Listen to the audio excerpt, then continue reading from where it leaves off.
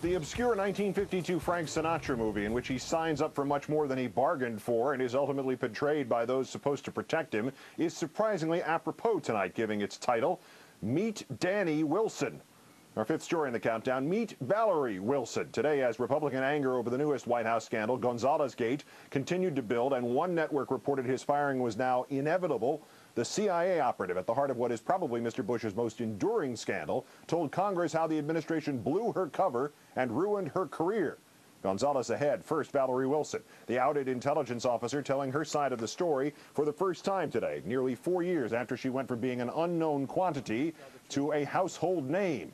As you will recall, the subsequent investigation into her exposure led to the recent perjury and obstruction of justice convictions of Scooter Libby, Vice President Cheney's former chief of staff. Everyone else in the administration who had leaked her identity to the media still untouched. Mrs. Wilson today recalling how it felt to see her identity exposed and her career destroyed. My name is Valerie Plame Wilson, and I'm honored to be invited to testify under oath before the Committee on Oversight and Government Reform on the critical issue of safeguarding classified information. I'm grateful for this opportunity to set the record straight. My name and identity were carelessly and recklessly abused by senior government officials in both the White House and the State Department. How did you react when you uh, learned that your identity had been disclosed? I found out very early in the morning when my husband came in and dropped the newspaper on the bed and said he did it. And I quickly turned and read the article, and I felt like I had been hit in the gut. I've never uh, questioned a spy before. I've never testified uh, under oath before.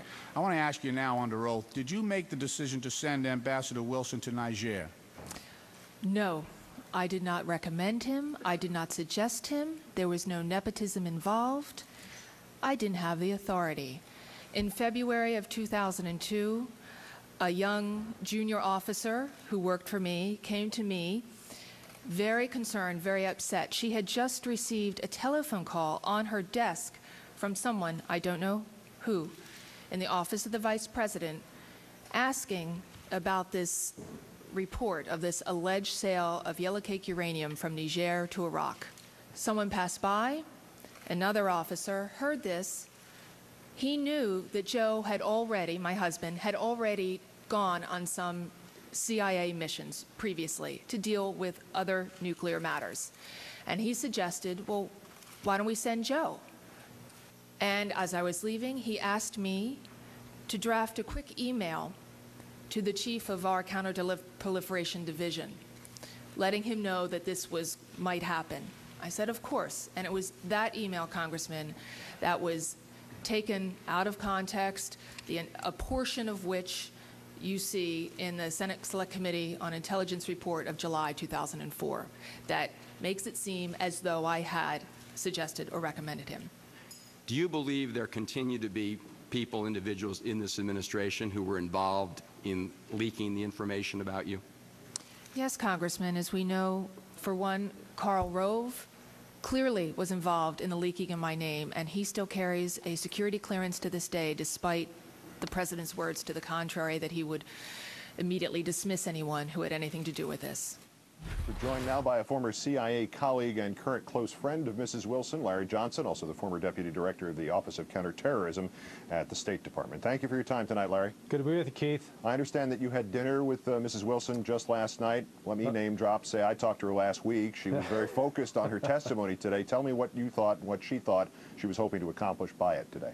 Well, a group of us, not just myself, but a couple of other former classmates took her out last night to ease her uh, mind, and she came in relaxed today and did a terrific job. Very poised, very eloquent, and demonstrated the kind of person that we've known now for over 20 years, someone who uh, is very serious, very patriotic, very business-minded, and but uh, ultimately a tough person who's not going to just sit back and, and take these kinds of attacks uh, lightly perhaps most significant in this, and it, and it obviously she overshadowed it for uh, for obvious reasons, being the, this, this is the first at-length discussion of all this from her. But but in the hearing, we also got on the record that the White House on the record on the current status of Karl Rove, Uh, another witness who appeared after Mrs. Wilson, the director of the White House Security Office, confirming that no disciplinary action was ever taken against Mr. Rove, that he still has his security clearance, uh, that the CIA never investigated what happened to this valuable asset of theirs in, in Valerie Wilson. Is all of that as outrageous to you as it appears to be to uh, Valerie Wilson? The- unfortunate thing, Keith, is the list of outrages with this administration keeps growing by the day. You know, it's, you know, pick chapter and verse. So do we want to talk about wounded vets, betraying a national security asset like Valerie? Do you want to talk about firing eight uh, U.S. attorneys? I mean, you know, it's going on and on. And so what is clear is a consistent pattern of incompetence and a, and a dereliction of duty, a fundamental dereliction of duty. Instead of upholding their obligations to protect the United States, it seems as if they're hell bent on sabotaging everything that is good about America. As to that litany of charges, we do have an hour here every night. Um, there, I, I watch. is there any question now after this though, over whether in leaking her identity, blowing her cover, that the administration officials did not just whatever damage they did to her and to her husband and to her kids, but to the agency? She was very circumspect in that re- uh, respect, but made it very clear the damage was not just to her, the damage was to a network of intelligence officers and foreign assets. And it is extensive.